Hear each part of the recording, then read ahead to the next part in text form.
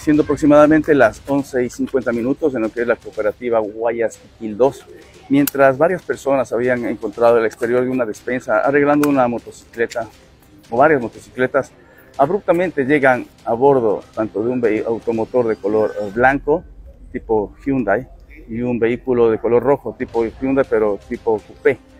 acompañado de cuatro motocicletas, los cuales sobre la marcha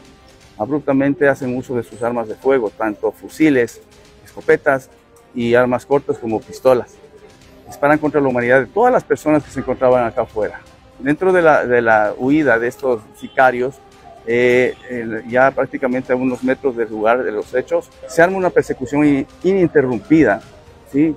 ya que algunos de estos sicarios eh, cambiaban de vehículos, eh, primero se desembarcaron algunos de, de, las motocicletas y se subieron a un vehículo tipo camioneta color anaranjado.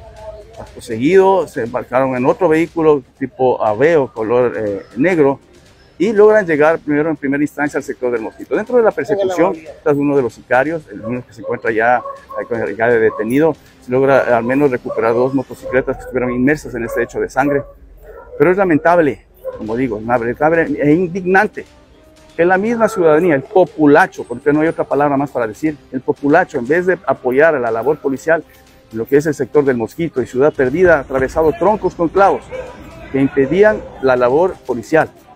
Finalmente, estos sicarios desembarcan de, los, de esos vehículos y se eh, suben a una embarcación y eh, hacen su escape eh, vía fluvial se hizo las coordinaciones inmediatas con el aeropolicial, está sobrevolando toda la zona para poder eh, tratar de localizar esta embarcación. Como, repito, como resultado por el momento tenemos una persona aprendida y las dos motocicletas que estuvieron inmersas en este hecho de sangre con calidad de retenidas para investigación.